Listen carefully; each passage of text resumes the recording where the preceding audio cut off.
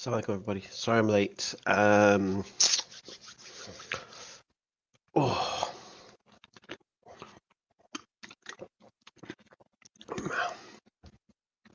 Just eating my sahur at the moment. Um, dummy. I know. Uh,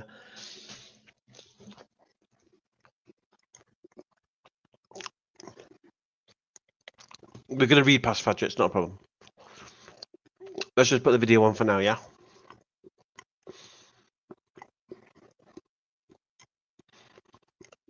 While I eat.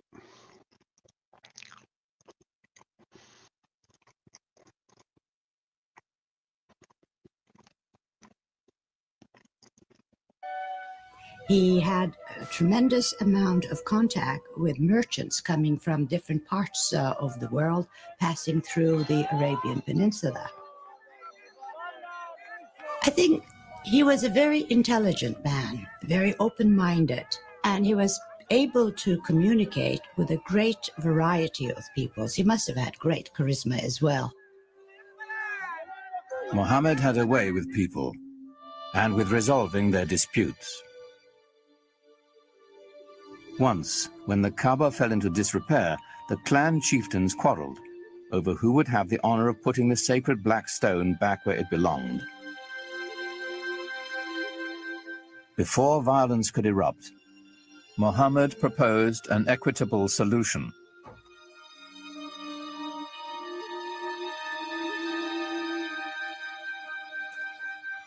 United in the effort, the four leaders shared the weight and the honor. In gratitude, they invited Muhammad himself to replace the sacred stone. He became known as Al-Amin, the trusted one. There are all kinds of indications that he was tremendously interested in, in religious questions. This is obviously not something that an ordinary person probably was interested in in those days. He talked to uh, sages, Arab sages. He talked to Jewish and Christian sages who lived in the area. Used to go up into the rock hills around Mecca and meditate, think about things. And at some point had this extraordinary vision, which is spoken about very evocatively and elusively.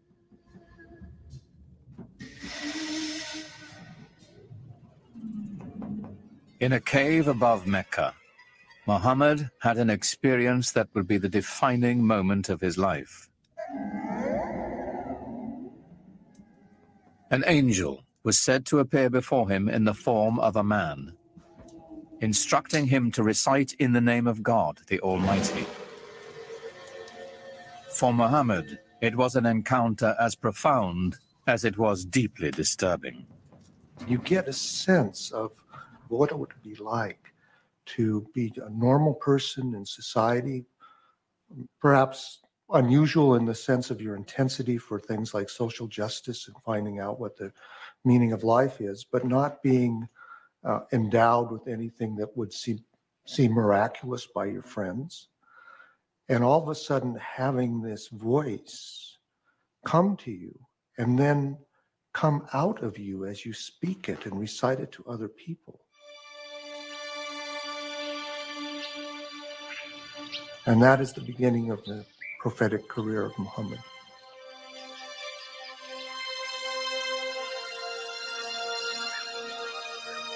The months to come would bring more revelations.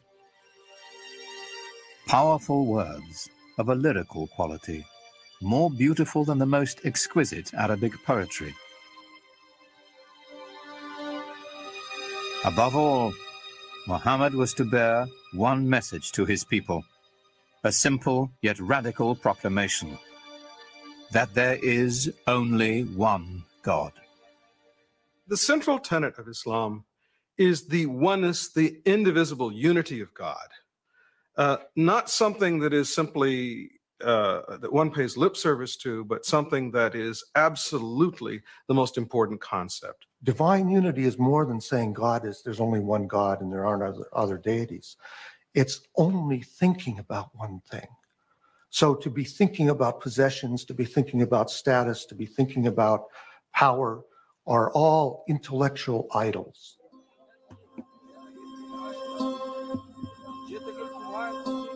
The implications were staggering.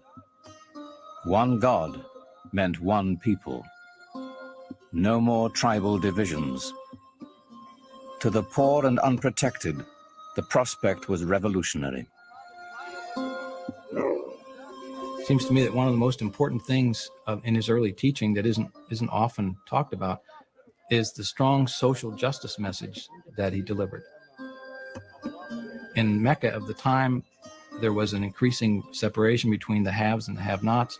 He insisted that it, this was not to be, and that we should share the wealth. And uh, it was this social justice message that I think that really got him a hearing among many of the folks. So, coming with Islam, it was a new order, a new way of life.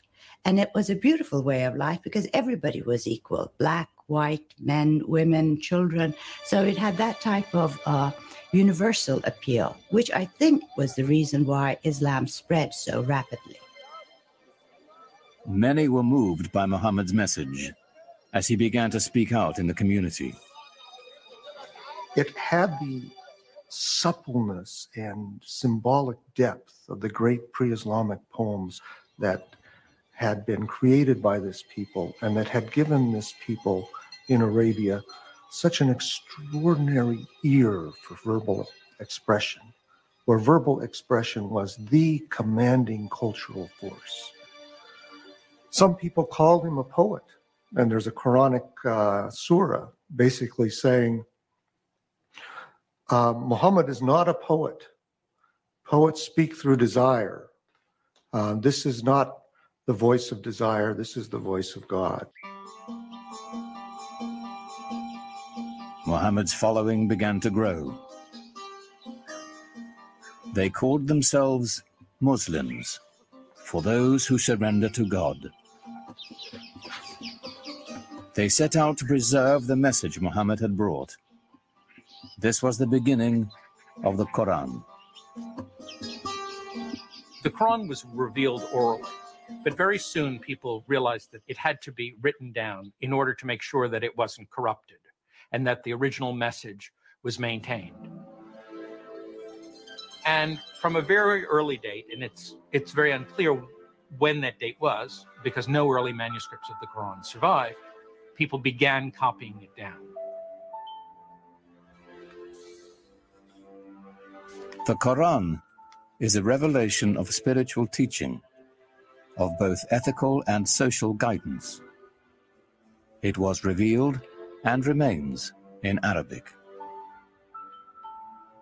What's so extraordinary about the Quran is its naturalness, so that it can say the most powerful cosmic things with a sense of, of intimacy, so that power and tenderness come together constantly in the Quranic language. With words alone, the Quran delivers its vision to the faithful. Its imagery conjures a picture of the afterlife that resonates with all the power of traditional Bedouin poetry.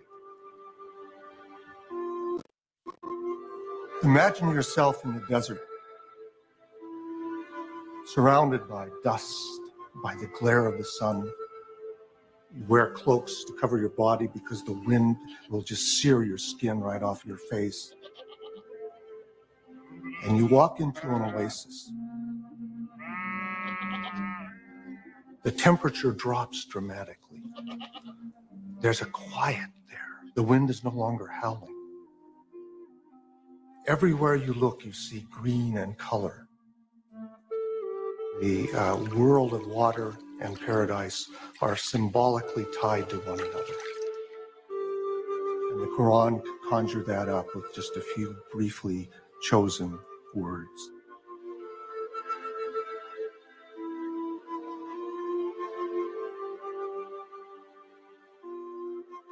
Yet for all the imagery of paradise in the Quran, there was no easy description of God. The mystery would remain. It's very difficult to talk about God without reifying God, reifying to make God into a thing or anthropomorphizing God, to make God into a projection of our own human self. And that's why Muslims don't uh, like sculpture, for example, traditionally, because they believe that there's that danger. And the Quran avoids that by constantly shifting the pronouns so we can't really reify God and get a, an image, a physical image of God. Rather than a physical image of God or of Muhammad, it is the beauty of the Quran itself that is celebrated in Islam. Islam developed in this context where pictures were not favored. The Quran, as it was revealed, was God's representation on earth. And Muslims felt from a very early time that the only just representation of God, God's word, was the Quran itself, not any picture of of of God, certainly not because you couldn't represent God, and certainly not a picture of Muhammad because he wasn't divine.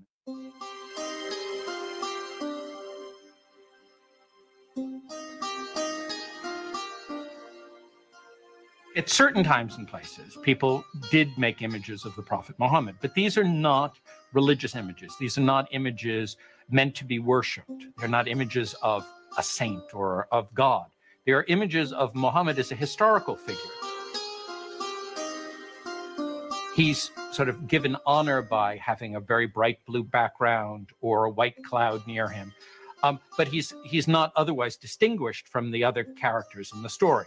At other times, people did represent the prophet, but he was always represented with a white cloth over his face to hide his face, so that there were different approaches to doing this.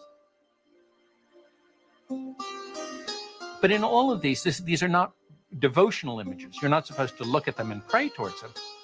You're to learn more about the history of your religion with the emphasis on history from them.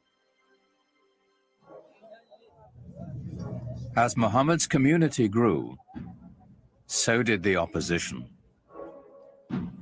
people, of course, were skeptical and said, look, if you're a prophet, where's your miracle? And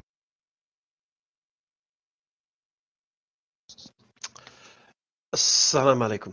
Sorry, we're late today, so I was I played the video for a bit longer than usual. Um, hope everyone's good in the chat. Yeah, sorry, yeah, man. I'm gonna pin that link now, inshallah. I've still not done that video yet. I need to do that video for the masjid we're out of time. Um.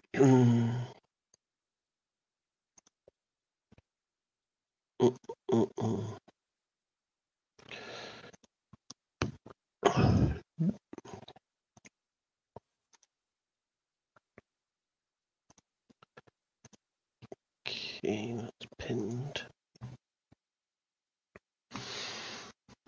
Okay. Only 27 folk like Hamza. Where the people at? Only 27 people like me. No, that's not nice. Why are 27 people like me?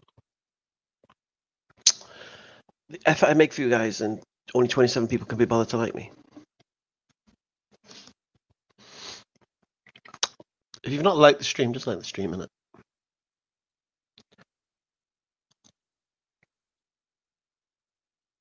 There's 101 people watching right now. I don't know, but let, let's let's say 50 of them are, could well be enemies.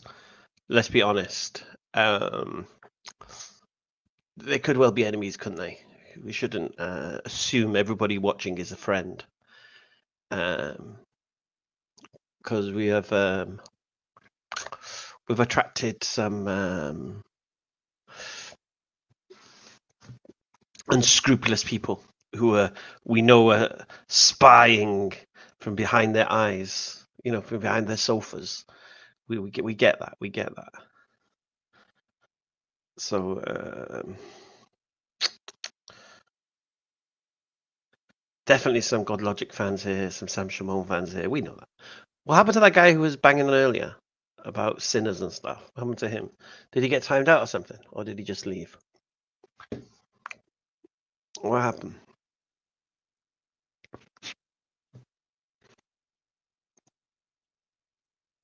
Did somebody time him out? Did somebody defy my orders of leaving the trolls alone? Come on. Who was it? Who was it? Did you time him out?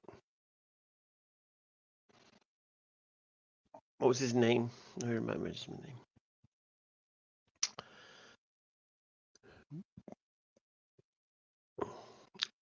Oh, there we go. He is my Lord Yusu.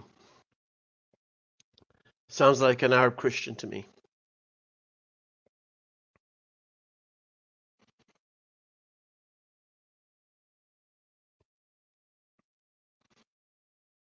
No, he sounded like it sounded like an Arab Christian to me.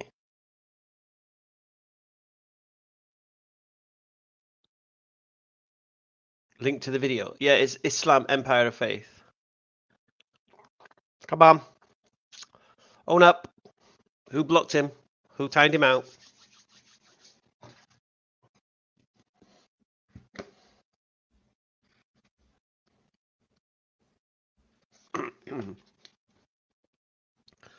what was on the menu? It was uh, crumpets. It was uh, another quintessential English breakfast. It was crumpets with um, laughing cow and uh, boiled eggs.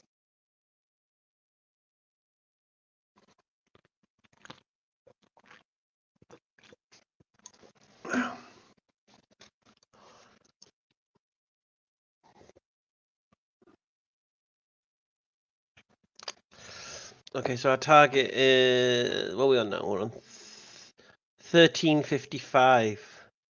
And we're still on thirty. Come on, people! We're on thirteen fifty five. Let's get this. Let's try and reach at least fifteen hundred, inshallah.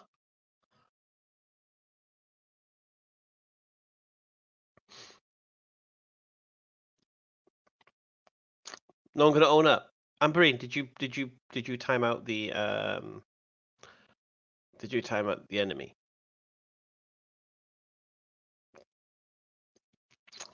Was it you? Or did he just leave because he didn't get any attention?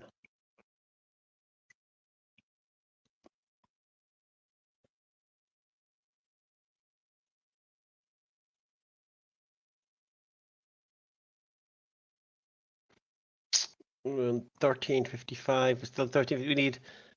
Oh, we still got a lot, long way to go. I need to make a move on that.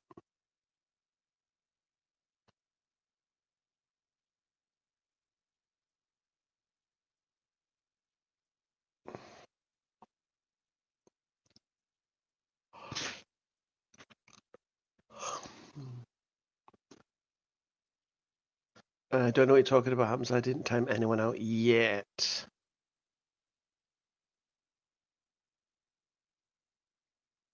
Okay. Hey, Assalamu alaikum, bro. Hope you're well. Okay. After Tabuk, chapter 80. Um, like the return from Badr, the return from Tabuk was fraught with sadness. Another daughter of the Prophet, Umm Kulthum, had died during his absence, and this time her husband had also been absent. The Prophet prayed at her grave, and he said to Uthman that if he had another unwedded daughter, he would give him, her to him in marriage. Those of the hypocrites who had not taken part in the expedition now went to the Prophet and made their excuses, which he accepted, while reminding them that God knew their secret thoughts. But he told the three believers who had stayed behind to depart from him until God should decide their case. And he gave orders that no one should speak to them. For fifty days they lived as outcasts. But after the dawn prayer on the fiftieth day, the prophet announced in the mosque that God had relented to them in the words of the revelation which had just come.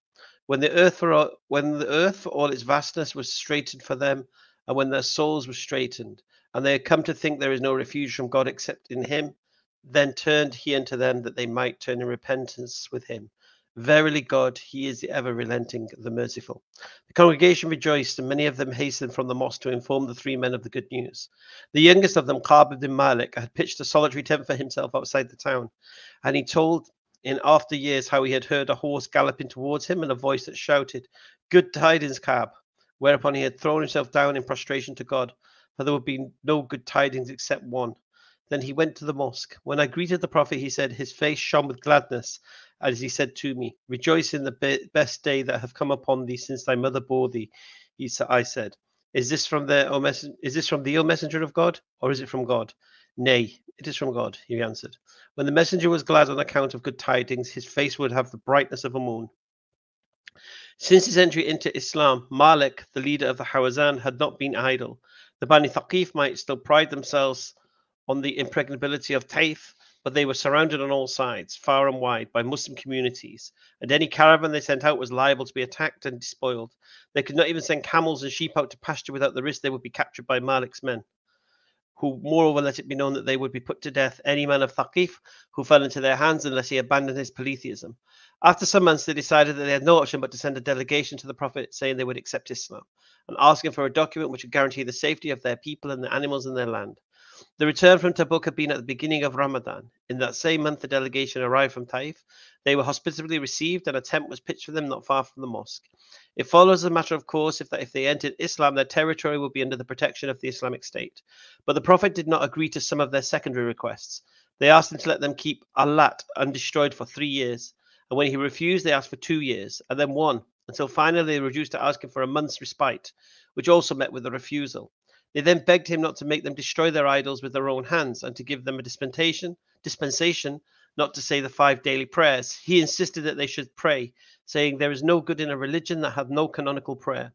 But he agreed to excuse them from destroying their idols with their own hands, and he ordered Mughira, Urwa's nephew, to return with a delegation and destroy Alat, taking with him Abu Sufyan from Makkah to assist him. After their entry into Islam, the delegates fasted the remainder of Ramadan in Medina and then returned to Taif. Abu Sufyan joined the party in Mecca, but it was Mughira single handed who destroyed the idol. His clan took certain measures to protect him, fearing that he might suffer the same fate as Urwa, but no one sought to avenge the goddess, despite the lamentations of a multitude of women who bewailed her loss. Two of the men who had most deplored the surrender of the city were neither citizens nor devotees of its lady. When the Prophet had marched on Makkah, Abu Amir, the father of Hanzala, and Wahshi, the Javanaliya, had both taken refuge in Taif, which seemed an impregnable fortress. But where they were now, where could they now take refuge? Abu Amir fled to Syria, and it was there that he died, a fugitive, lonely, and homeless, thus fulfilling the curse he had unwittingly laid upon himself. Wahshi was still hesitating where to go when a man of Thaqif assured him that the Prophet would put no man to death who entered Islam. So he went to Medina, and going to the Prophet, he made his formal attestation. Even as he did, no one of the believers who was present recognized the slayer of Hamza, and said, O Messenger of God, this is Wahshi. Let him be, said the Prophet, for one's Islam is dearer to me than the slaying of a thousand disbelievers. Then his eyes rested on the black face in front of him. Art thou indeed Wahshi? he said, adding at the man's assent, Be seated and tell me how thou slewest Hamza. When the javeliner had finished, the Prophet said, Alas, take thou thy face from me, let me not look upon thee again. As to the cousin of Abu Amir ibn Ubay, in the month after Tabuk, he fell seriously ill, and after a few weeks it was clear that he was dying. The traditional accounts differ as to the state of the soul in which he died, but all are unanimous that the Prophet led the funeral prayer for him and prayed beside his grave when he had been buried. According to one tradition, when the Prophet had already taken the stand for prayer, Umar went to him and protested against the bestowal of such grace upon a hypocrite. But the Prophet answered him, saying with a smile, Stand thou behind me, Umar. I have been given the choice, and I have chosen. It hath been said unto me, Ask forgiveness for them, or ask it not. Thou thou ask for forgiveness for them seventy times, yet God yet will not God forgive them? And did and did I know that God would forgive him if I prayed more than 70 times? I would increase the number of my supplications. Then he led the prayer and walked beside the bier to the cemetery and stood behind his beside his grave. Not long afterwards, the verse was revealed with reference to the hypocrites. And never pray the funeral prayer over them who dieth, nor stand beside his grave, for verily they disbelieved in God and his messenger and died in their iniquity. But according to other traditions, this verse had been already revealed as part of the revelation which came immediately after the return from Tabuk. Nor was it any longer applicable to Ibn Ubay, for the Prophet visited him in his illness and found that the imminence of death had changed him. He asked the Prophet to give him a garment of his own in which he could be shrouded and to accompany his body to the grave, which the Prophet agreed to do. Then again he spoke, saying, O Messenger of God, I hope thou wilt pray beside my bier and ask forgiveness of God for my sins. Again the Prophet assented, and after this death he did as he was promised. The dead man's son, Abdullah, was present on all these occasions. Thaqif were not the only tribe to send envoys to the Prophet Muhammad to the Prophet. Many other envoys came to Medina from all over Arabia in this year of deputations. As the ninth year of the Hijra is called, amongst others who were from different parts of the Yemen, including letters from four Himyarite princes who announced their acceptance of Islam. and the repudiation of polytheism and its adherents. The Prophet replied cordially. He stressed the obligations of Islam, bidding them treat well his messengers, whom he would send to collect the taxes incumbent upon Muslims, Christians, and Jews, specifying that a Jew or a Christian who keepeth his religion shall not be turned away from it, but shall pay the poll tax and shall have the protection of God and his messenger. A recent revelation has been said with regard to religious differences. For each we have appointed a law and a path, and if God had wished, he could have made you one people. So try one with one another in good works. Until God, you will all be brought back, and he will then inform you of those things where you differed. Not all the deputations were conclusive. Amr ibn Tufail, the man responsible for the massacre at Bir Ma'una, was now chief of the Bani Amir, and under pressure from his tribe, he came to Medina. But he himself was an arrogant man and in return for his Islam, he asked the Prophet to name his him as his successor. It is not for thee to know thy people, said the Prophet. Then give me the tent dwellers and keep thou the villagers, said Ami. Not so, said the Prophet, but into thy hand will I put the reins of the cavalry, for thou art excellent horseman. This was not enough for the Bedouin chief. Am I have am I to have naught? he said disdainfully, adding as he turned away, I will fill all the land with horsemen and footmen against thee. When he had gone, the Prophet prayed, O God, guide the Bani Amir, and rid Islam of Amir, the son of Tufail. And Amir was smitten with an abscess and died before he reached home. His tribe sent another deputation, and a pact was at last concluded. The poet Labid was one of the envoys, and he now entered Islam. He is reported to have gone had some intentions of abjuring of abjuring poetry thereafter. In exchange, God have given me the Quran, he said. But he had nonetheless continued to compose poems until his death, placing his gifts at the mercy of mercy, placing his gift at the service of the, his religion. The time of the pilgrimage was approaching, and the Prophet appointed Abu Bakr to take charge of it. He set off from Medina with 300 men, but not long after they had gone there came a revelation which it was important that all pilgrims to Makkah, both Muslims and polytheists, should hear. None shall be a transmitter from me, but a man of the people of my house, said the Prophet. And he told Ali to set out with all speed and overtake the pilgrims. He was to recite the revealed verses in the valley of Mina, and he was to make it clear that no one after this that year would be allowed to go round the holy house naked, and that idolaters were making the pilgrimage for the last time. When Ali overtook the others, Abu Bakr asked him if he had come to command the expedition, but he replied that he was under his command. So they went together, and Abu Bakr led the prayers and preached the sermons.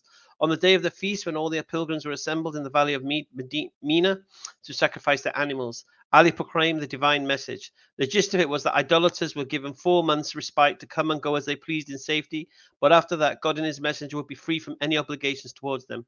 War was declared upon them, and they were to be slain or taken captive wherever they were found. Two exceptions were made as regards those idolaters who had a special treaty with the Prophet and had kept it faithfully. The treaty was to be held as valid until its term ran out, and if any individual idolater sought protection, he was to be granted and convened to a place of safety.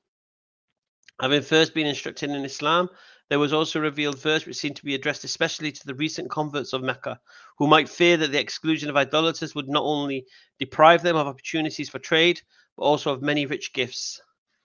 O ye who believe the idolaters are unclean, therefore let them not come nigh unto the inviolable mosque after this their year. And if ye fear poverty, poverty, God will enrich you of his bounty. Verily, God is all knowing, infinitely wise. The Prophet remained at home for nearly the whole of the following year, which was the tenth since his emigration. Ibrahim could already walk and was beginning to talk. Hassan and Hussein had now a small sister named after her aunt Zainab, and Fatima was expecting a fourth child. Other intimates of the households were the three sons of Jafar. They were now the stepsons of Abu Bakr, who had married their mother Asma, and she also was expecting a child. Particularly dear to the Prophet was her sister Umm al Fadl. In Makkah, it had been his custom to visit her often, and since Abbas moved to Medina, he was more see, once more a frequent visitor at their house. The eldest son, after whom she was named, had now grown to manhood and received many signs of favor. On at least one occasion, when it was Maymuna's turn to house the Prophet, she invited her nephew Fadl to stay with her. Deputations still continued to come in the previous year, and one of those was from the Christians of Najran, who had sought to make a pact with the Prophet. They were of the Byzantine Rite and in the past had received rich subsidies from Constantinople. The delegates, 60 in number, were received by the Prophet in the mosque. And when the time for their prayer came, he allowed them to pray in there, which they did facing towards the east.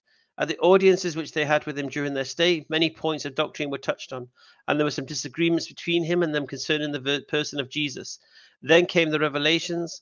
Verily, the likeness of Jesus with God is as the likeness of Adam. He created him of dust, and then said to him, Be, and he was. This is the truth from thy Lord. So be not of the doubters, and who contends with thee about him after his knowledge has reached thee? Say, Come ye, and let us summon our sons and your sons, and our women and your women, and ourselves and yourselves. Then we'll im- impreciate putting God's curse on those who lie. The prophet's recitation, sorry, the prophet recited the revelation to the Christians and invited them to meet with him and his family to settle their dispute in the way he suggested. They said they would think about it, and the next day when they came to the prophet, they saw that Ali was with him, and behind him were Fatima and her two sons. The prophet was wearing a large cloak, and now he spread it wide enough to enfold them all in it, including himself. For this reason, the five of them are revealingly known as the people of the cloak. As to the Christians, they said they were not prepared to carry their disagreement so far as impreciation. And the Prophet made with them a favorable treaty, according to which, in return for the payment of taxes, they would have the full protection of the Islamic State for themselves and their churches and other possessions. The untroubled happiness of the early months of the year came to an end with the illness of Ibrahim. It was soon clear that he would not survive. He was tended by his mother and her sister Sirin. The Prophet visited him continually and was with him when he was dying. As the child breathed his last, he took him in his arms and tears flowed from his eyes. His forbidding of vociferous lamentation and made prevalent the notion that all expressions of woe at bereavement were to be discouraged, and the mistaken idea still lingered on in many minds. O Messenger of God, said Abdurrahman bin Ibn Auf, who was present, this is what thou hast forbidden. When the Muslims see thee weeping, they too will weep. The Prophet continued to weep, and when he could find his voice, he said, Not this do I forbid. These are the promptings of tenderness and mercy, and that is not merciful unto him shall no mercy he be shown. O Ibrahim, if it were not that the promise of reunion is sure, and that this is a path which all must tread, and that the last of us shall overtake the first, verily we should grieve for thee with a yet greater sorrow. Yet are we stricken indeed with sorrow for thee, O Ibrahim, the eye weepeth and the heart grieveth, nor say we aught that would offend the Lord. He spoke words of comfort now to Maria and Sirin, assuring them that Ibrahim was in paradise. And having left them for a brief while, he returned with Abbas and Fadl. The young man washed the, his, washed the body and laid it out, while the two older men sat and watched him. Then it was borne from forth to the, to the cemetery on its little bier. The Prophet led the funeral prayer and prayed again his son at the edge of the grave, after Osama and Fadl had laid it in, in the body. When the earth had been heaped over it, he still lingered at the graveside, calling for a skin of water. He bade them sprinkle it over the grave. Some unevenness had been left in the earth, and noticing this, he said, When one of you doth aught, let him do it to perfection. And smoothing it over with his hand, he said of his own particular action, No harm it doth no good, but it grieveth relief until it giveth relief until the soul of the afflicted. He had already stressed more than one need, more than once the need to make perfection one's aim in every earthly act and many of his sayings indicate that this aim must be unworldly and detached. Ali is said to have summed up the Prophet's guidance in this respect as follows: Do for this, do for this world as if to live forever, and for the next as if to die upon the morrow. To be always ready to depart is to be detached. Be in this world as a stranger or as a passerby, the Prophet said. On the day of Ibrahim's death, not long after his burial, there was an eclipse of the sun. But when some of the people attributed it to the prophet's bereavement, he says the sun and the moon are two signs of the signs of God. Their light is not dimmed for any man's death. If you see them eclipsed, you should pray until they be clear. MashaAllah. So sad. Okay. um, how are we doing with the MashaAllah? We've raised uh, 130 pound allahu akbar so we're now on 1465 so another 35 quid let's hit the 15 the 1500 pound mark inshallah oh that was so sad about ibrahim but this was the touching on the the point where you know if he if he was a, a fake prophet if he was a charlatan i mean no we could we have got to the stage we at if he was but let's just you know the accusations of that probably that other geezer who nobody timed out. Uh, um, he, he would have uh, when that eclipse occurred he would have used it and the people were believing it was because of his son dying. They would uh, he would have used that as a yeah you see you see i i am the messiah kind of thing. But um but he didn't. He distanced himself from that which is not the actions of somebody who's trying to trick the people or fool the people or to convince the people that he's something that he's not. So, um, alhamdulillah, that was just that particular portion. Um, again, again, we have to keep reiterating um, the reliability of some of the some of the details of the stories are not necessarily 100% accurate. Okay, so we're reading this to um, we, we're getting the gist, we're getting an idea, we're getting a picture.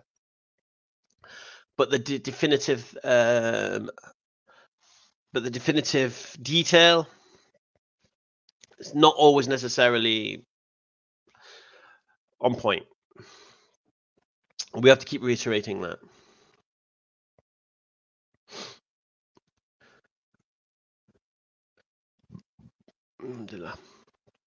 Okie dokie. What's going on? Going on in the chat? Oh, it's 5.13. We'll do another 15 minutes, yeah? Then I'm going to scour.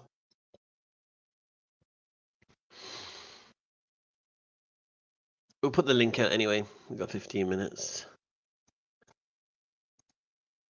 Where's all the where's all the God Logic fans on that? Where's all the um Where's where's where's all the ant- anti fans?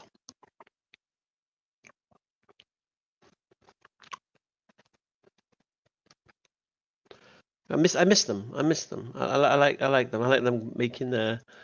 I I like them bleating in the chat. Do you know what I mean? But, but let's just show the disingenuous nature of our man God Logic anyway, while we're here. Because I mean, I, I was watching this again, and his body language in this particular thing I'm going to show you is absolutely terrible. Absolutely terrible.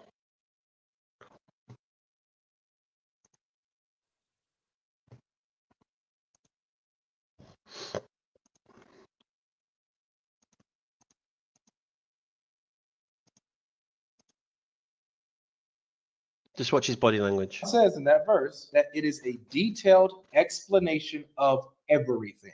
So it cannot be both. That's a contradiction.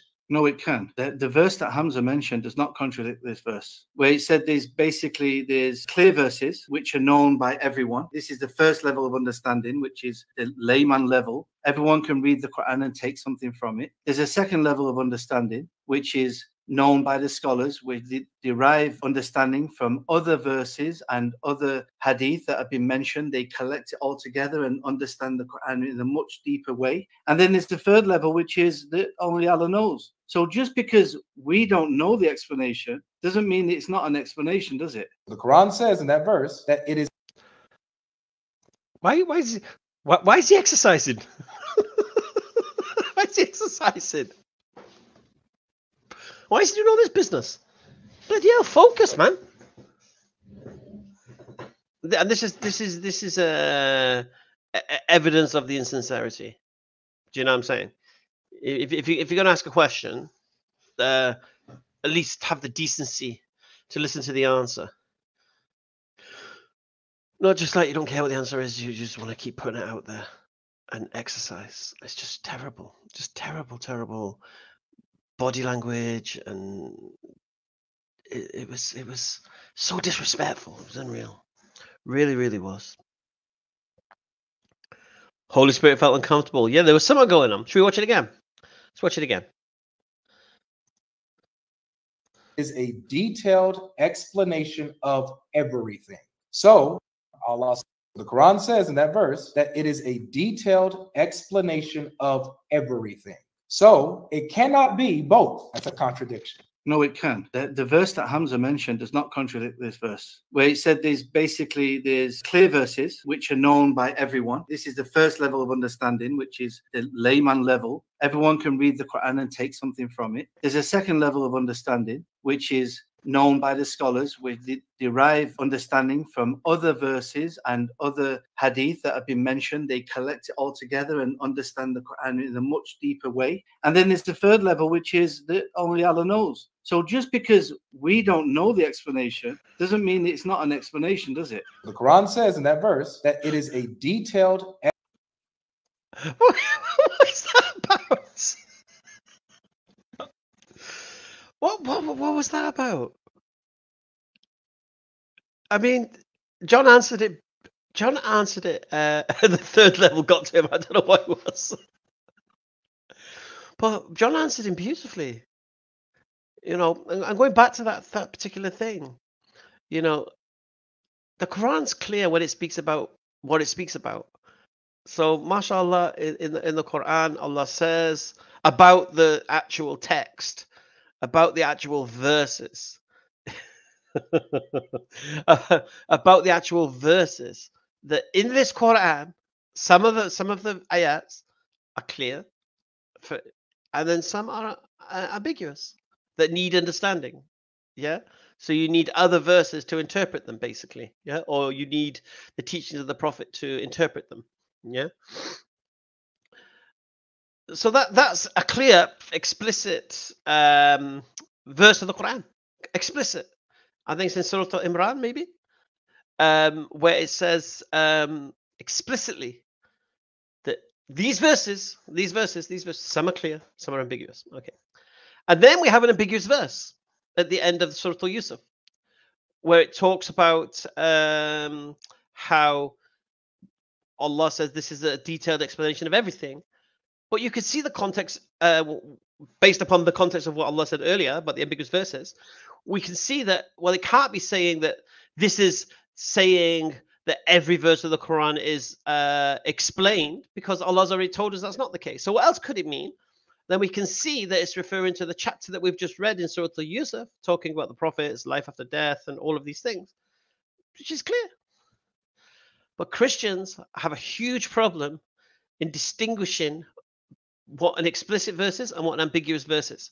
Because when the Christians read their own Bible, they do exactly the same thing. When they state there's something explicit, they ignore it. Something ambiguous, they make it explicit to suit their narrative. Anyway.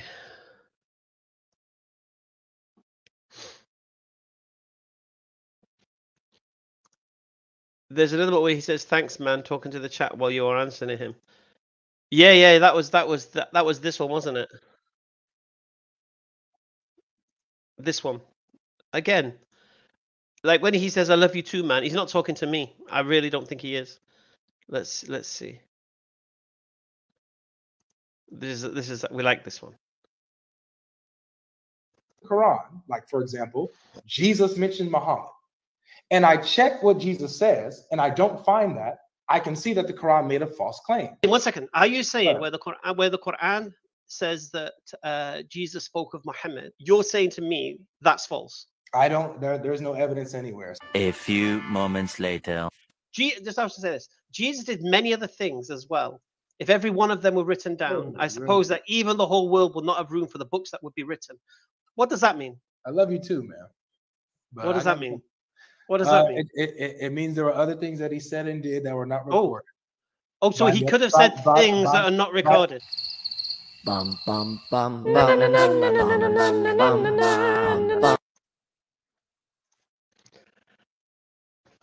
Yeah, I, I, I, this is this is the thing, and then you you see his um background with him sat on this chair and all that. Um, you can see that he's been prompt, prompted prompted up, and again, you know, I, I hate repeating myself, but um, I feel like I have to.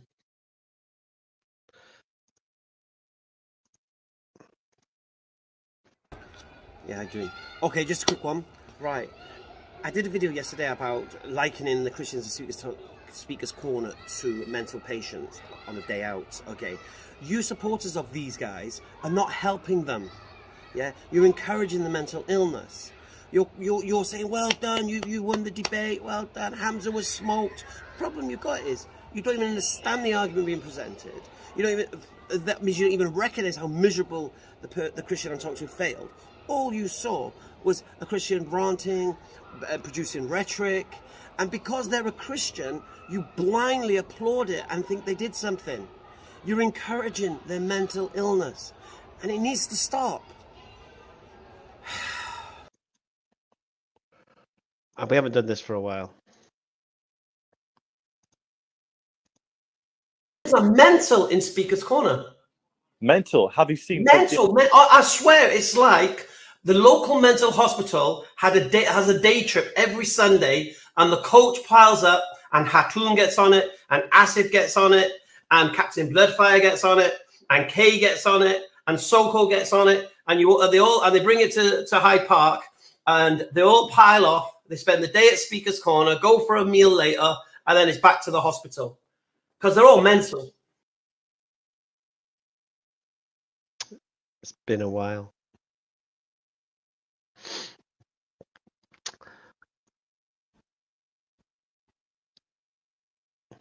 I don't recognize myself. I don't even recognize myself without hair anymore. Honestly, whenever I see a video without hair, I'm thinking, who's that guy? oh, Asif is still there. Asif is still there. And, and undoubtedly, uh, Asif is still there. It's so normal to see you with hair now. I know it just seems weird when without, without hair. or, or, it, it doesn't. It doesn't. It feels weird. It really, really does. Uh, the vid never gets old, but needs new faces. Yeah, it's true. Well, we'll see. We'll see when I go to the park next time. Uh, Lactose is here, but I think Lactose, you're a young boy, aren't you? How old are you, Lactose? I'm sure you said you were young. Uh, and... Yeah, I'm 13. Yeah, go on. What, what brings you on here, mate?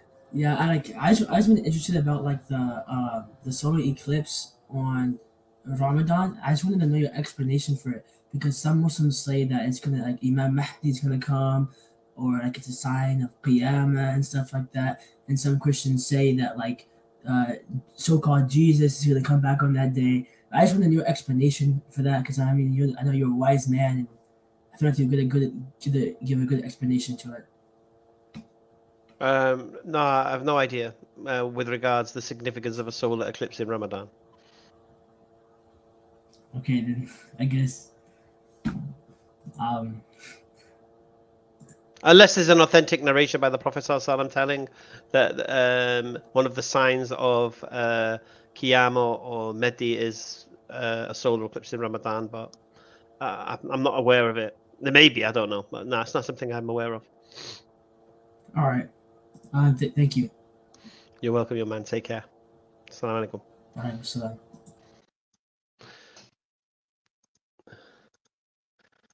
There may well be something. I don't know. I'm not. I'm not really. It's not Sheldon. Mashallah, lactose is a Muslim. Mashallah, he's only 13. Subhanallah.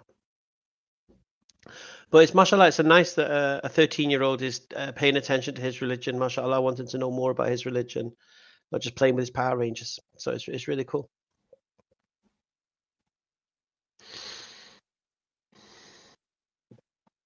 Do you know what I mean? So Alhamdulillah. I mean, it's amazing. Um, and I'm still trying to work it out. I'm still trying to work it out. Why kids love Hamza's Den? Yeah, I, I'm still trying to understand it. Why um, a lot of children they enjoy Hamza's Den. You know, when they come in the shop and the, the parents tell me, oh, they love watching your channel and stuff. It's really, really nice. Just for a second.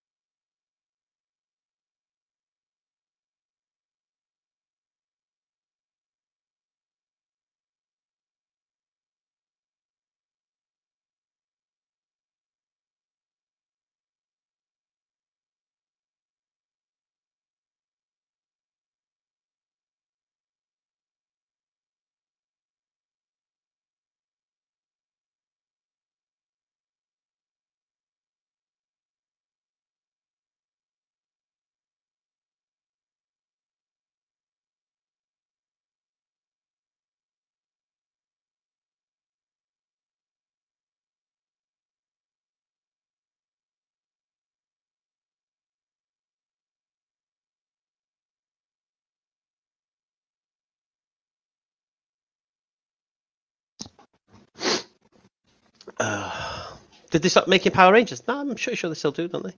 I don't know. What did it, it was when I was, I used to sell toys in it uh, back in the day. Power Rangers, WWE, and um, Star Wars was the order of the day for the kids.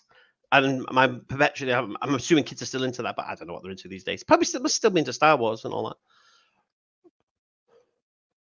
that. Cause you're a cool evil uncle who plays video games and stuff. That could well be true, Rose with Thorns. That that could could well be true.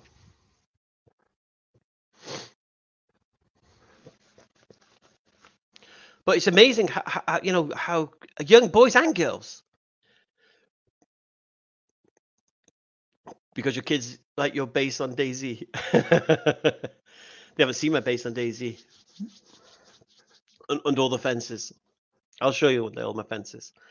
Although we got raided. Uh, when did we get raided? I got raided last night, actually, my base, but it was someone cheating. So I got all my stuff back. They're into Switches and iPads. Oh, they don't play with the Power Rangers and stuff anymore.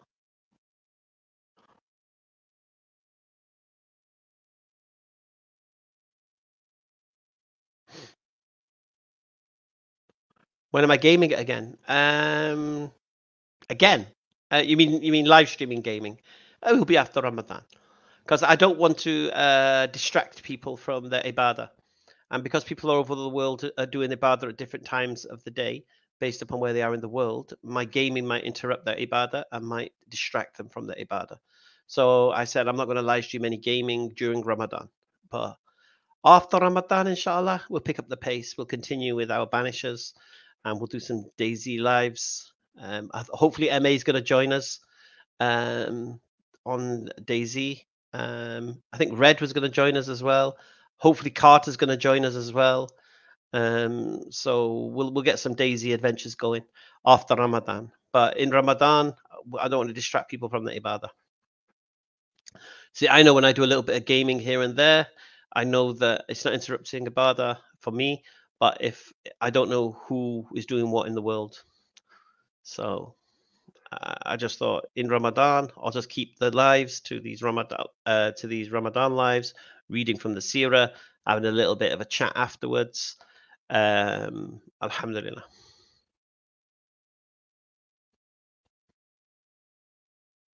Hamza, was there a time where you played FIFA? Yeah, yeah, yeah. I, I play FIFA.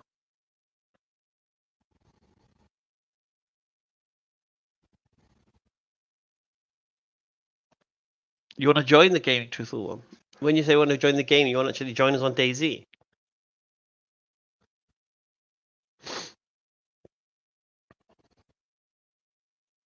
Can't remember how to play Banishers. Oh god. I hate I hate stopping playing a game because um ah I'm gonna pick it up and then be like, oh man, what does this button do? I hate it honestly. I forget. I forget all the moves, all all, all the things that, be, that become like second nature while you've been doing it. Um, I forget it all. Uh, DayZ is played on um, PC. We play.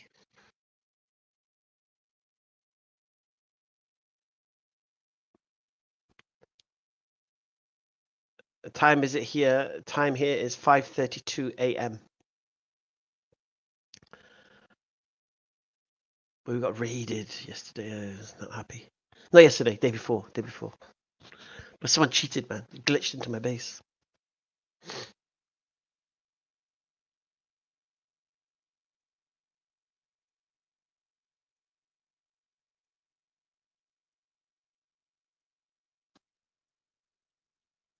No more reading. Uh, no, no, no. We, we finished reading for today.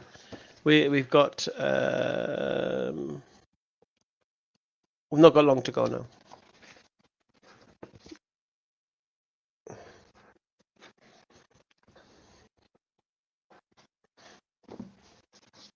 Uh, I support Man United.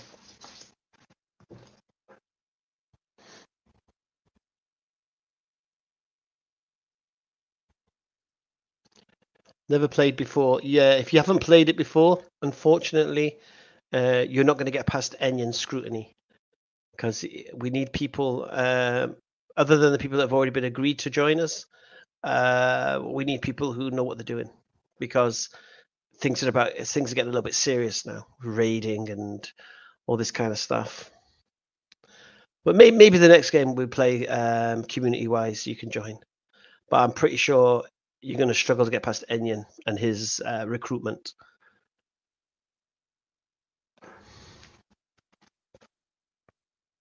Thank you, Suleiman Shaban. Let's see how we're doing on the GoFundMe. Bismillah. Come on, fourteen eighty five. We just need another fifteen pound. Let Let's finish on fifteen hundred. Just need another fifteen quid. Lath does Dawah in game. Lath, mashallah, he's been. Lath, jump on, man. Tell the people what you've been doing in DayZ. It's so cool. Um, here's the link, bro. Just just explain to the people what you've been doing in DayZ, where someone said um, you should do Dawah in game. I think it's pretty cool, man. I think it's a pretty cool um, idea.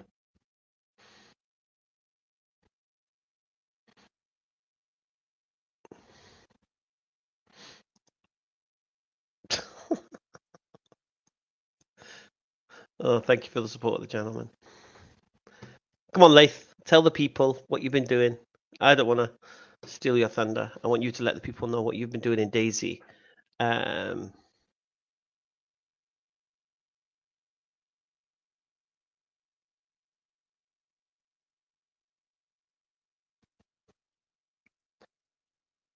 I don't know what Lath's doing. I don't know what time it is where Lath is. Um, you gonna jump on, man? Come tell the people.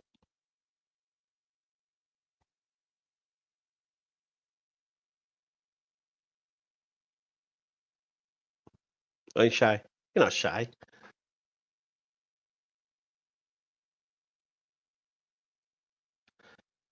What's a midget? A midget's like a like a dwarf, like a very small person. I mean, I don't know if he is or not. Okay, we don't need to start insulting him now. We don't win arguments by insulting people.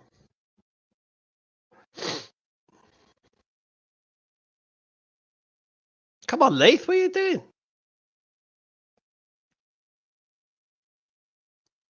Or maybe Lath's not actually in the stream. He's just coming on saying salams here and there.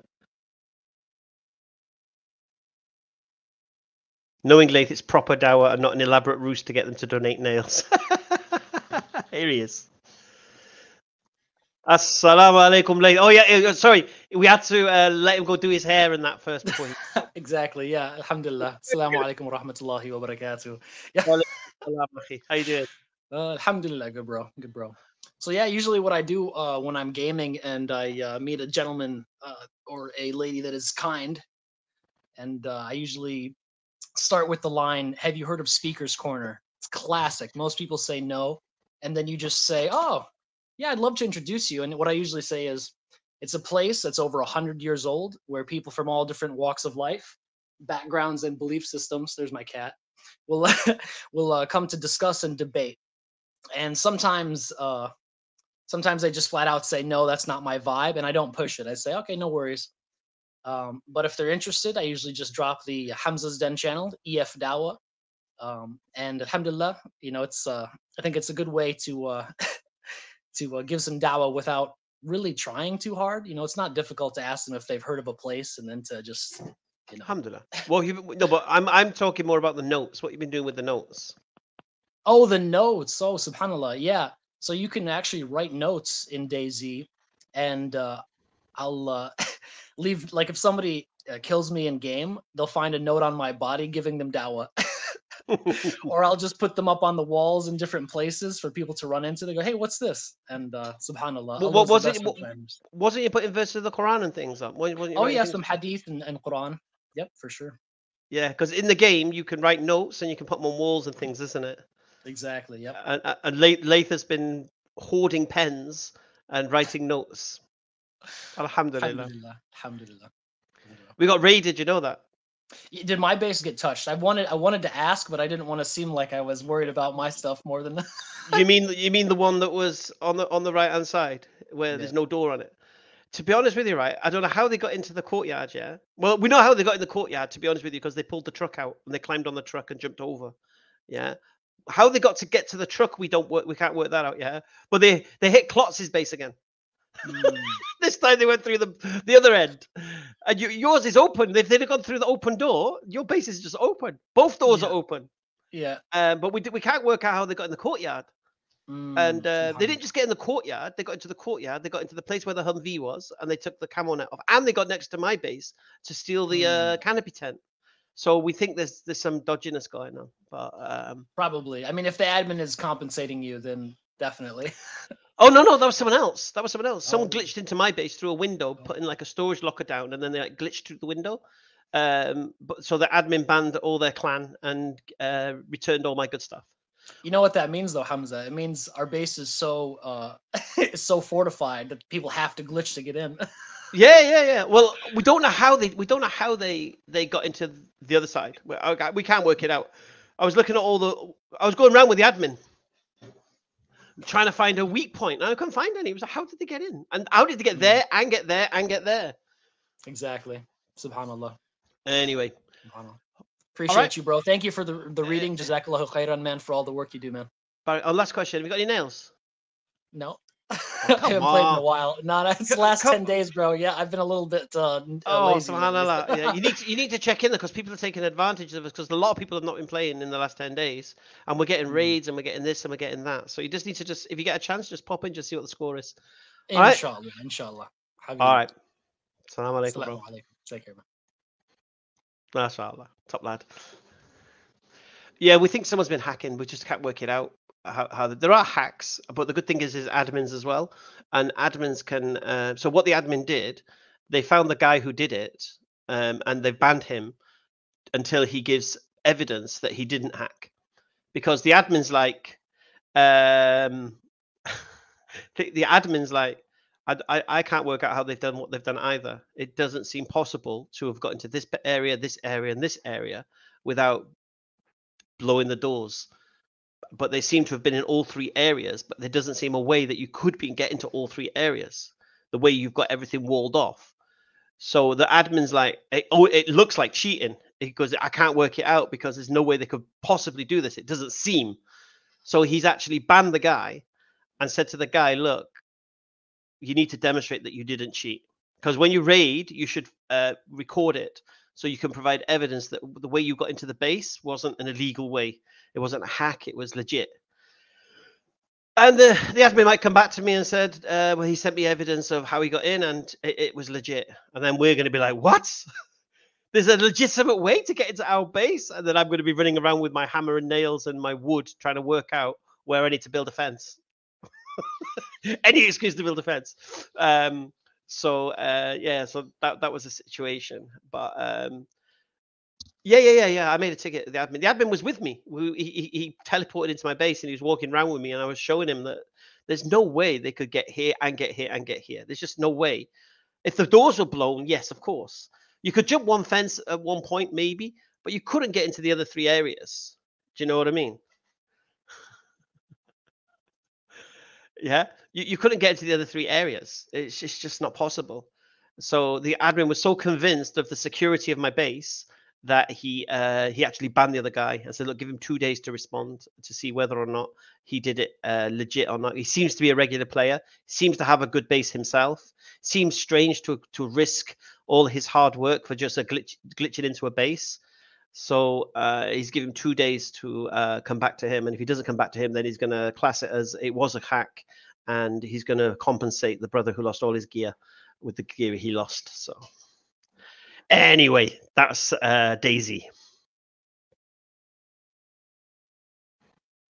No, the admins know the admins. So if someone comes, in, if someone bl- uh, blows something up, takes something, uh, wrecks something in your area, the the admin will have a log of who did that. So the admin knows exactly who it was who um, blew a gate, put up a tent, took down something.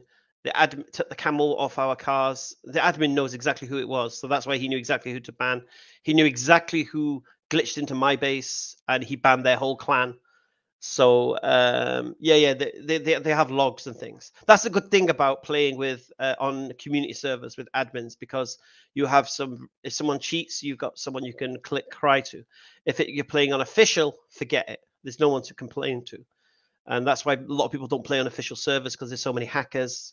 I think the guys who glitched into my base were Russians, um, and uh, you know you, the Russians and the Chinese are usually the worst for the hacking. Yeah, sorry, Rose. In case anyone wondering what's going on, we're talking about DayZ and the gaming channel.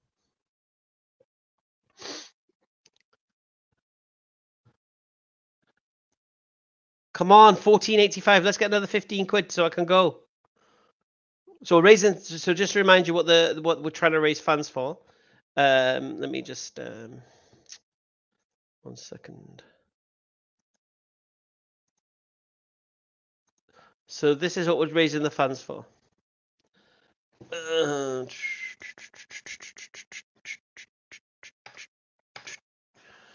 so this is the Ramadan appeal, and uh, this is what it is. Um, Salaam alaikum, brothers and sisters. This fundraiser is trying to raise £10,000 to go towards the cost of building the wudu area at my local masjid, where all of my dawah began, and from where Hamza's den could have a base in the future once the project of building the masjid is complete. Here are a few words from the Eman Foundation management.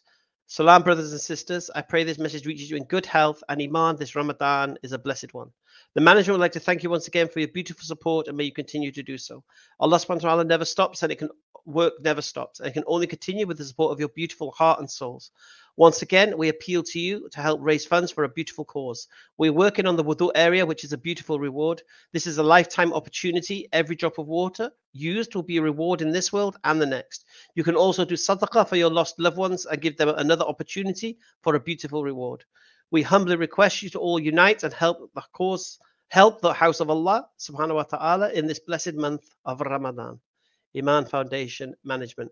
So this is what we're raising the funds for, inshallah. Um, we're on 1485 of a 10,000 pound target. Inshallah, once I do the video and I put the video up about it and I share it on Twitter and other places, inshallah, um, we should reach it. And you know, and as the Prophet Muhammad said, whoever builds a masjid seeking the pleasure of Allah, Allah should build him a house for him in paradise. Alhamdulillah. So that's what we're raising the funds for. So, and I've said now, for example, we needed 10,000 people. Sorry, we needed 1,000 people to donate a tenner. Um, now, mashallah, we only need 865. No. Bloody hell. One second. 800 and 1500. That'd be 8,500 in it. Uh, so yeah, so we just need 835 people to donate a tenner, inshallah, to hit, hit our cause. And I'll do I keep refreshing it and, until we reach that. So let's try and at least reach that. I should do a live stream like this, to be honest with you, um, so we can um, I dedicate a live stream to this, so we can just have a one big blast, inshallah. Um, yeah, so donating for the masjid, of course, you can pay from zakat. Alhamdulillah. So if you have zakat to pay, this is an opportunity. You can uh, pay it there. Obviously, sadaqah is better because uh, zakat you have to give away, whereas sadaqah is something you voluntarily give away, inshallah. So, um, but yeah, mashallah, it can come from your zakat. Alhamdulillah. So, like I said, we're trying to reach a ten thousand pound target. I think we'll do it. We did 15,000. Uh, we did 15,000 last year, mashallah. Yeah, the sadaqah is voluntary. Voluntary. I wouldn't say optional, I'd say voluntary. You don't have to give sadaqah, but you can give sadaqah to benefit yourself. So if you want the rewards yourself, mashallah, imagine having the rewards of everyone doing wudu because of your your contributions, mashallah. Um, in the grave and the hasanah just keeps coming, keeps coming, keeps coming. But I've, I, and I'm gonna. I think this one is more powerful though imagine your mother, your father, your brother, your sister uh, passed away. Yeah. And they're in their graves. And mashallah, you say, I'm going to donate this money on behalf of my father, of my mother, of my brother, of my sister, or such, or my husband, or my wife, whoever's passed away. And subhanAllah, they'll be in their grave and they'll start getting rewards. And subhanAllah, they, they, they'll be asking, where's this coming from? and they'll be told such and such a person has done such and such a thing for you. So this is why one of the beautiful things in Islam is to have pious children who can act on behalf of you when you've passed. So mashallah, if you have a child and you teach that child how to pray and such, you'll be rewarded for this thing. And it's the same, mashallah, if um, you know you've passed away and, and you're in your grave and your child is sending forth sadaqah in your name, or not necessarily even your child, but somebody sending sadaqah in your name, mashallah, you're getting sadaqah jariyah from a place that you never even dreamed of. And who knows? Who knows what that that that kind of hasanat will do for you? For that person in their grave, will it ease the comfort of the grave? Will that be the thing that takes them to paradise? Subhanallah, who knows what it will do? So this is the this is the uh, beautiful opportunity, and and like I say, to to for the the wudu area is one of the most blessed things, one of the most blessed things to donate for because you know that the only reason people are using that wudu area is so they can make supplication and pray to Allah. You know that's their intention, subhanallah. So, like I say, this is a beautiful, beautiful opportunity to get in, and especially my center. It's not just your l- local run of the mill masjid. This is a center. This is a place, uh, going to be a place of learning. This is going to be a place where potentially I'll be based um, if I'm still in this area. Uh, this is uh, a Dawa center. This is a place which has a whole facility floor just for the sisters, just for the sisters. Subhanallah, it has a whole area, and I need I need to kind of show that because I keep saying it, but I don't think you appreciate it. Because in the month of Ramadan, the sisters have completely packed out their floor, and the sisters come from I don't know where the sisters come from, but mashallah is um, the they're flocked there, and they come and you can see that the families come in and the, the the wives and the sisters and and the daughters all going upstairs and the brothers coming to pray, and it's a real family place, alhamdulillah. And this is what the masjid is. The masjid is more than a place to pray, though. The masjid is supposed to be the community center. It's supposed to be the hub of the community. Do you understand? It's it's not just a place of prayer. It's it's supposed to be everything for the Muslim. Alhamdulillah. And so that's what our center will be. It's been a long time in growing. It's, it's nearly 10 years now in building it. We're finally in the final stages, mashallah, that we've actually got round now to the wudu area and the internal part of the mosque. The out exterior has been done. Um, so inshallah, this is a cause. Get on it, inshallah. Alhamdulillah. And after all that, still didn't get 15 quid. Come on, man. That was an inspirational talk. Subhanallah. That was inspirational. So if you've not yet donated, get in. And like I said, it's just it's just 1,000 people giving tenner. That that's all. I mean, the cost of the wudu area is like I think 100, 150,000 to completely do it because remember we've got three floors. But that, subhanallah, if that doesn't inspire you to donate a tenner, I think five is the minimum. Then nothing, nothing will. Subhanallah. Honestly, subhanallah.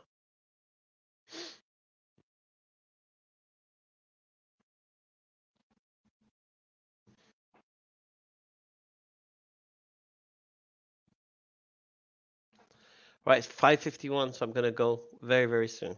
But I, I don't want to go until that says 15. I really, really don't. So if you haven't donated, donated yet, you need to, you need to, to do it for yourself or for do it for your loved ones or do it for somebody. We just need three people to give a fiver. That's it.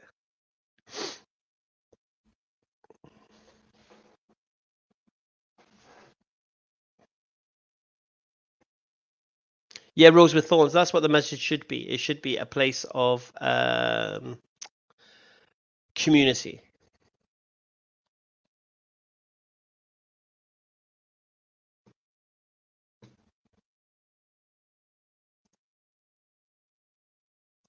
One second. Believe in Allah and His Messenger and spend out of that which He has made you successive inheritors. For those who have believed among you and spent, there will be a great reward. Alhamdulillah. Yeah, Amberine, I know it's Fajr time, but I'm not going till this is says 15.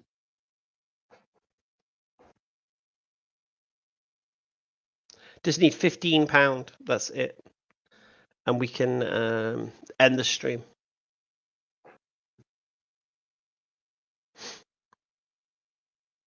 Otherwise, we're just going to sit here in silence. How much in US dollars? Uh, 15 quid. Uh, in US dollars? I don't know. Let's see.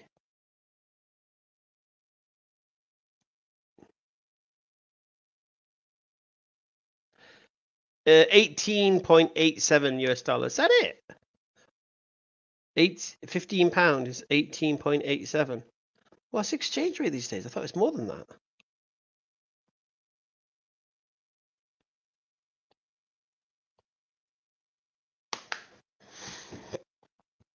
It's saying the exchange rate's about 18, but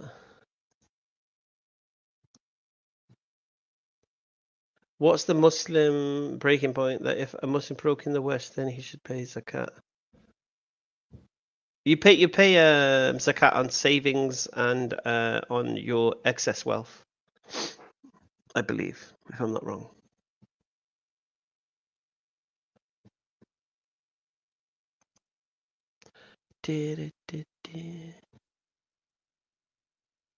Yeah, I asked Mr. Google as well, eighteen point eight seven dollars, but I think GoFundMe do take a, a small amount.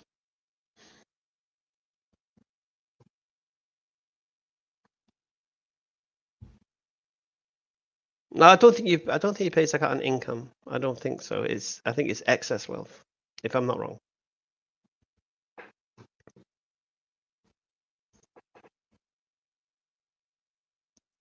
MashaAllah. But you gave it to.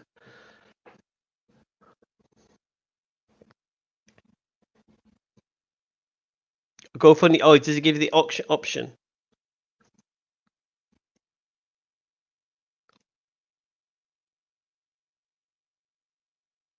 Yeah, I think I need to do this video. I, th- I think I need to show it.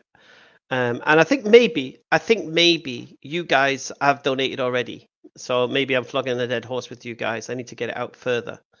Um, so inshallah, I, I think the video is important.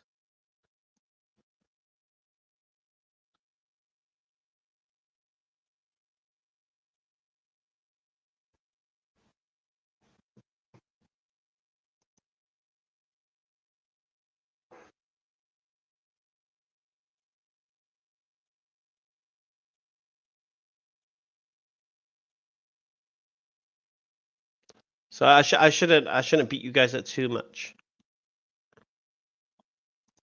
Uh, when you have time, explain the difference between zakat and the other. So zakat is just basic. Zakat is uh, money that has to be paid. You have to give it. It's it's it's. It, I think the Prophet ﷺ explained it as like imagine uh, the sea, and you know that scum that forms on top of the sea. That's zakat.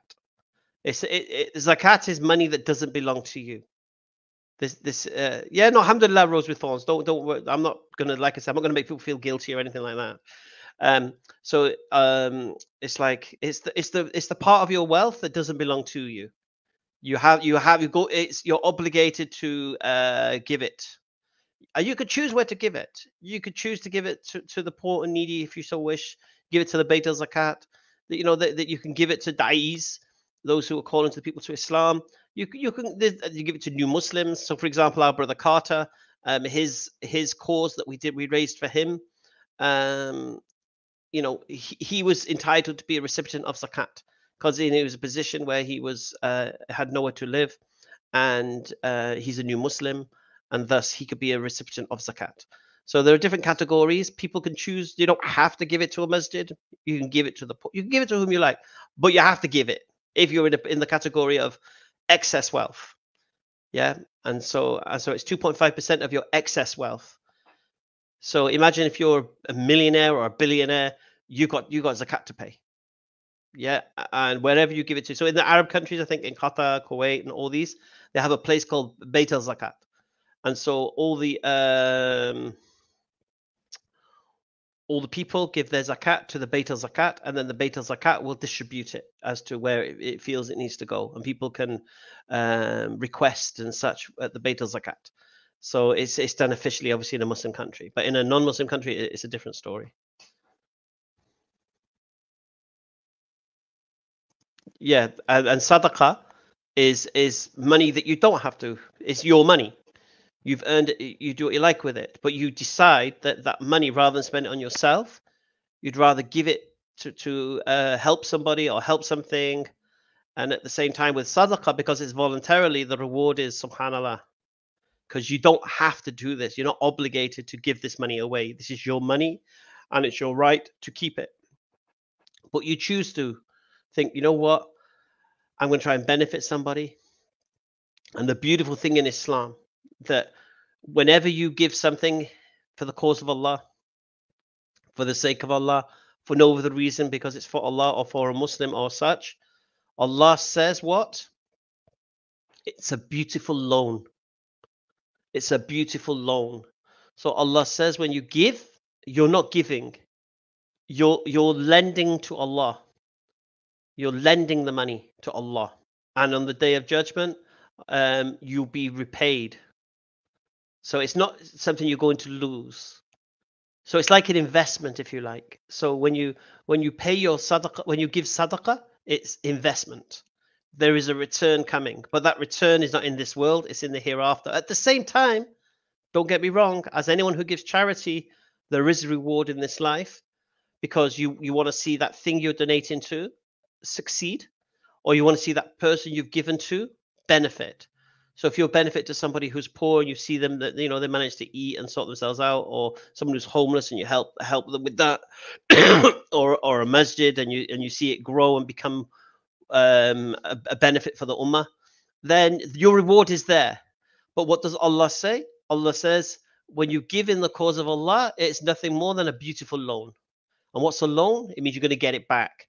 But in the hereafter, you're not going to get money back.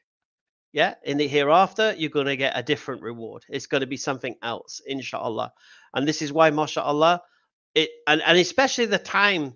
Look at the time you're being asked to give sadaqah, to give charity to a masjid that's being built brand new, which is going to be a dawah center catering for all of the community, men, women, and children. Yeah. And you're being asked to donate to this in the month of Ramadan, in the last 10 days of Ramadan what an opportunity, subhanallah. Because this wudu area will get completed and then there'll be no opportunity to be um, to invest. Or who knows whether you'll see another Ramadan. Who never who knows whether this Ramadan is your last Ramadan. Who knows? And this is your opportunity. And the, we know the rewards in Ramadan is increased multitude times. So th- this is the opportunity for you. We, uh, Amberine saying we reached the target. Okay, my, my, my thing is saying it hasn't reached it yet. Oh, there we oh, mashallah. See, that's what I want to see. I want to see some inspiration. So we smashed through the target. So we're on 1575. But I feel I need to do a stream of this. I need to have a video playing from the masjid. I need to keep showing you. And you know, you know, one of those like kind of uh Ummah Welfare Trust type flexes. Where all right, I'm not, I'm not going to get like a celebrity in with me and get people phoning in and stuff, but I think I need to do a stream with this um because we, we we raised 15 grand last year, mashallah. Um,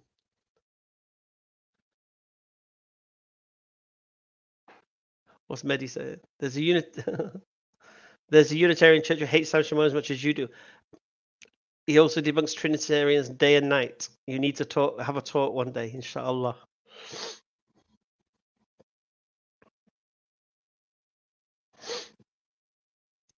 Uh, we have Waqif, which is a trust that produce. Yes, exactly. I think a Waqif in, um, if I'm not wrong, in uh, in Makkah is the uh, clock tower. If I'm not wrong, I'm pretty sure that clock tower in uh, Makkah, uh, the rent, the, the income from it goes towards um, supporting Muslims, or, or go, goes to some kind of charity. If I'm not wrong, I, I'm pretty sure the one one of those one of those hotels next to the Kaaba is uh, the income goes towards um, or the profit or something goes towards the uh, some kind of charity. If I'm not wrong, I might be wrong, but I'm pretty sure John Fontaine was telling me about this. Who was it? John who told me about this?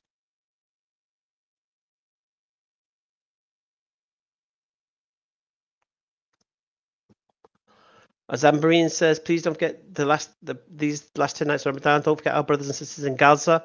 Give hope to the people of Gaza with your sadaqas. And there's a link there. I don't know what that link is. Where's that link? Oh, and Lebanon this year. MashaAllah. Oh, these links must be coming from other streams, I'm assuming.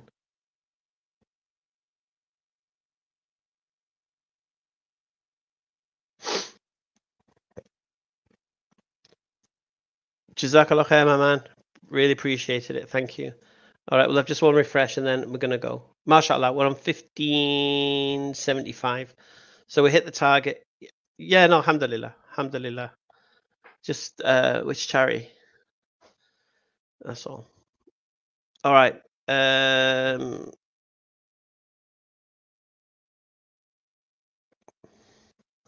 Muslim countries just increasing, never decreasing for charity. Alhamdulillah. What? Muslim countries increasing, never decreasing for charity.